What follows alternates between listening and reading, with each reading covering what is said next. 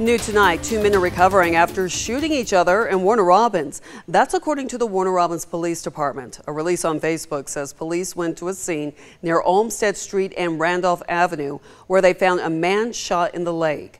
Police say two men were sitting in a truck, got into an argument, and shot each other this afternoon. They were able to find the second man after placing a lookout on the truck.